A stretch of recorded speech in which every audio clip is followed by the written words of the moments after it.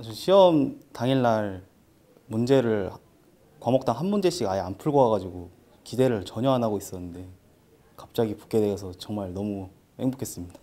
진짜 말로 표현할 수 없었어요. 제가 올해 1월 달부터 준비를 시작했는데 그 1차는 공부를 따로 혼자 하고 이제 2차 준비하길래 너무 막막해서 막 찾아보니까 인스 TV가 너무 좋다 그러고 해서 했는데 저는 인강을 하나도 안 듣고 실강 그 모의고사 5주차만 딱 하고 그걸로만 딱 공부를 나머지를 기간 다 했는데 운 좋게 교수님들이 좋은 수업 해주셔가지고 잘 됐습니다.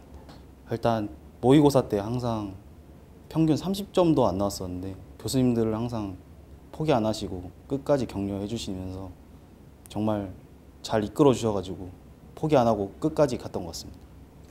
저 같은 경우 자동차과에서 3년 공부하면서 구조를 좀 알아서 좀 여유가 있었는데 준비를 하신다면 최소 1년은 잡고 하시는 게 좋고 꼭 실강 추천드립니다. 정말 실강 들으실 수 있으시면 꼭 들으시면 최고입니다.